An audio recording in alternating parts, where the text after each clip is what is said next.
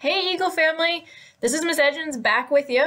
I just wanted to make sure all of you were aware that you can now get library items and pick them up via curbside service. So while we're still in virtual learning, and even if you stay in virtual learning once in-person learning resumes, you can get items from our library and from Limitless Libraries available to check out and then pick them up at school. So I want to walk you through really quickly how to do that.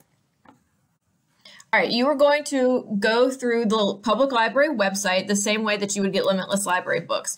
So we're gonna do, you can either either Google Nashville Public Library or go directly to a link. We're gonna do 296, which is our school code, .library.nashville.org.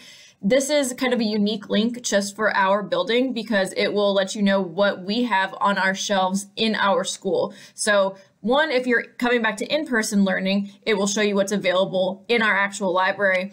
Um, but if you're still doing curbside service uh, and you're not in the building, it will actually get there faster. It'll be available for you to pick up faster because it doesn't have to come from another public library branch.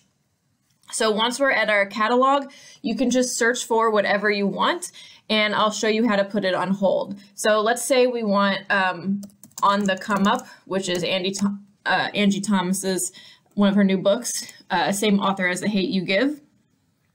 So once you see your search results and see the title, I asked you to do the 296 link because it filters out what is available in our school. So you can see now that it lets you know it's available on the shelf at our middle school library immediately.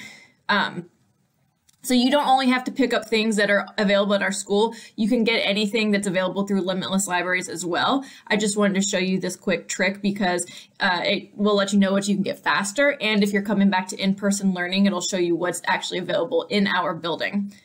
All right, so once you find an item you want, say you would like to request on the come up, you can click the blue place hold button and you're going to log in with your Limitless Libraries login, which is your 190 number as the library card number, and then your four digit birthday as the PIN. So that's two digits for the month, two digits for the day.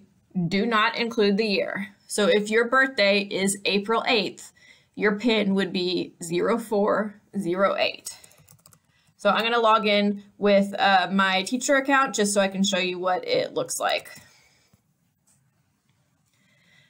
Right, once you place the hold, um, it's going to ask you to confirm where you'd like to pick it up. So you want to pick it up at East Nashville Magnet Middle. And then you are going to hit submit hold request. The next step after that is simply to wait until uh, you get a notification from me that your book is ready to pick up. Then you can come in the school office and pick up the book from Miss Rogers. Don't forget to follow East Eagles Library on Instagram and the East Middle Library webpage at eastmiddlelibrary.com, where I'll be sharing information and updates on programs, activities, tutorials, how to do things, and all the many, many, many, many new items we receive that are available for you to check out. See you soon!